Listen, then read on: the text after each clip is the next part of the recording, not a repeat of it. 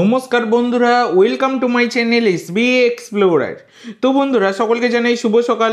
তো আজকের ভিডিওতে কিছু গুরুত্বপূর্ণ বিষয় নিয়ে আলোচনা করতে চলেছি। তো যারা চ্যানেলে প্রথমবার এসেছ, অবশ্যই সকলে একটা করে সাবস্ক্রাইব করে দিও।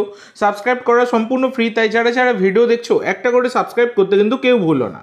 তো বন্ধুরা, প্রথমেই যে আপডেটটা দিয়ে শুরু করব, তো গতকালকে মোহামেডানের সাথে নর্থ ইস্ট ইউনাইটেড এফসির ম্যাচ ছিল।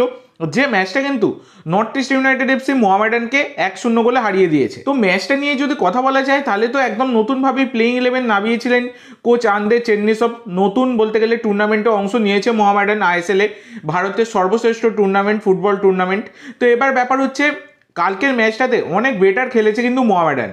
নর্থ ইস্টের থেকে অনেক বেটার খেলেছে ফার্স্ট হাফটা খুবই ভালো খেলেছে মোহামেডান। এছাড়া অ্যালেক্সিস গোমেজ আউটস্ট্যান্ডিং পারফরমেন্স দিয়েছে। কিন্তু শেষ মুহূর্তের একটা ভুল, পুরোপুরি কিন্তু ম্যাচটা ড্র করতে করতে হারিয়ে দিল মোহামেডানকে।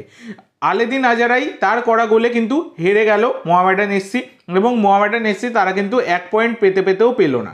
তো এই হচ্ছে ব্যাপার। প্রথম ম্যাচে কিন্তু হার দিয়ে শুরু করল, আইএসএল অভিযান শুরু করল মোহামেডান এসসি কিন্তু মোহামেডান যথেষ্ট ভালো খেলেছে গতকাল।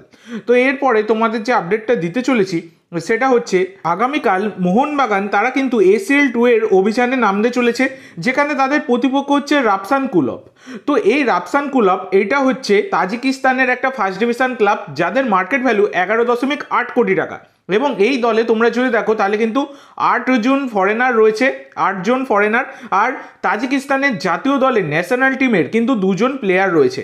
তো দেখো, এগারো দশমিক আট কোটি টাকা মার্কেট ভ্যালু বলে তাকে নিয়ে কোনো রকম ছেলে খেলা বা ছোটো ভাবা উচিত নয়, কারণ কোয়ালিটি তো টিমের মধ্যে রয়েছে নাহলে এসিএল টুতে অংশ নেওয়া অতটা চারটিখানিক ব্যাপার নয়।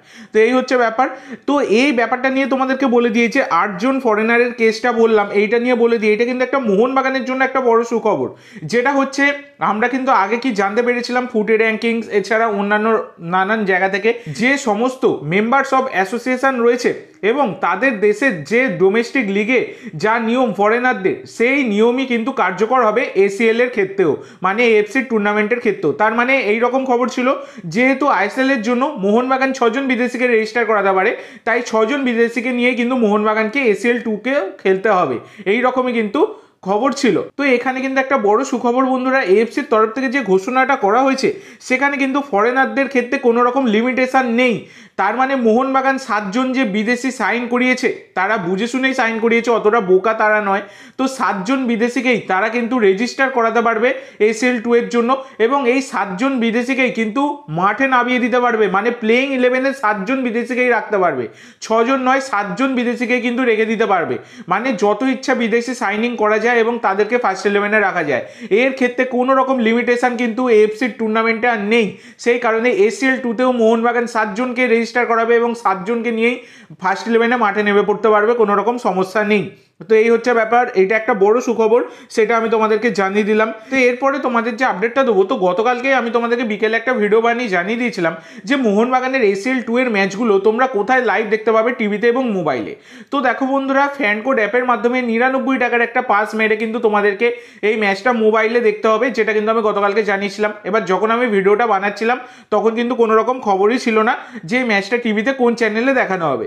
তবে বন্ধুরা, তারপরে কিন্তু সুখবর আসে এবং সেটা আমি পিন কমেন্টও করে দিয়েছিলাম সেই ভিডিওতে তো স্পোর্টস এইটিন থ্রি যে টিভি চ্যানেলে তোমরা আইএসএল দেখছ, সেই স্পোর্টস এইটিন থ্রি টিভি চ্যানেলেই তোমরা কিন্তু এই মোহনবাগানের এসিএল টু এর ম্যাচগুলো টিভিতে লাইভ দেখতে পেয়ে যাবে।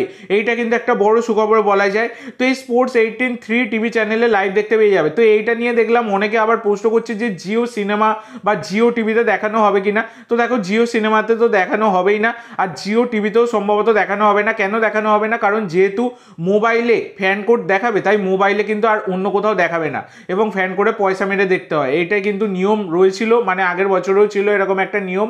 তো সেই কারণে আমি তোমাদের সাথে শেয়ার করলাম। সম্ভবত ফ্যান কোড ছাড়া মোবাইলে তোমরা কোথাও আর দেখতে পাবে না। তবে হ্যাঁ আমি অবশ্যই তোমাদের জন্য ফ্রি লাইভ লিঙ্ক শেয়ার করব। ফ্রি লাইভ লিঙ্কের মাধ্যমে তোমরা কিন্তু ম্যাচ দেখতে পাবে। সেই কারণে অবশ্যই সকলকে একটা করে সাবস্ক্রাইব করে রাখার অনুরোধ রইল। সাবস্ক্রাইব করে রাখলে তোমরা কিন্তু ফ্রি লাইভ লিঙ্ক পেয়ে যাবে। তাই যারা যারা ভিডিও দেখছ, যারা মোবাইলে ফ্রি লাইভ লিঙ্কের মাধ্যমে আগামীকালের আইপিএল টু এর ম্যাচ দেখতে চাও, অবশ্যই সকলে একটা করে সাবস্ক্রাইব করে রাখবে। তো এরপরে আরেকটা গুরুত্বপূর্ণ আপডেট তোমাদেরকে দিয়ে দেবো, এটা অনেকেই তোমরা প্রশ্ন করছ যে, দাদা মোহনবাগানের নতুন বিদেশি নুনো রেইস তিনি কবে আসছেন কলকাতায়? তো দেখো বন্ধুরা, যা খবর রয়েছে, আগামী সপ্তাহের মধ্যেই তিনি কিন্তু কলকাতায় চলে আসছেন। এক্স্যাক্ট ডেট কিন্তু এখনও জানা যায়নি। ডেটটা জানা গেলে অবশ্যই আমি তোমাদেরকে জানিয়ে দেবো। তো আগামী সপ্তাহের মধ্যে তিনি কিন্তু চলে আসছেন। তো আরেকটা জিনিস তোমাদেরকে বলে দিই, আগামীকালের ম্যাচে কিন্তু নুনো রেইস তিনি অ্যাভেলেবেল থাকছেন না। যে কলকাতায় আসেনি তিনি অ্যাভেলেবেল থাকবেন কি করে? অনেকেই পোস্টও করছিলে, সেই কারণে আমি তোমাদেরকে জানিয়ে দিলাম। তো আজকের জন্য এইটুকু বন্ধুরা। ভিডিওটি ভালো লাগলে অবশ্যই লাইক করো শেয়ার করো। আমার চ্যানেলে প্রথমবার এসে থাকলে চ্যানেলটি সাবস্ক্রাইব করো আর কমেন্ট করে জানাও ভিডিওটি কেমন লাগল। ধন্যবাদ।